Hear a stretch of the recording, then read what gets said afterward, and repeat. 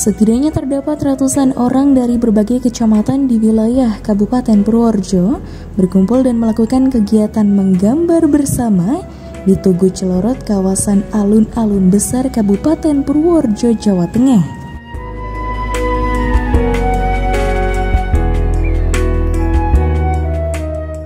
Kegiatan tersebut digeber dalam rangka memperingati bulan menggambar nasional yang jatuh pada bulan Mei.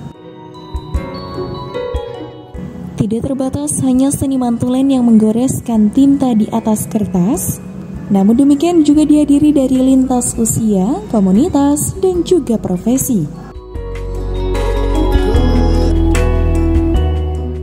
Bahkan terlihat juga banyak keluarga yang hadir bersama anak dan juga istrinya.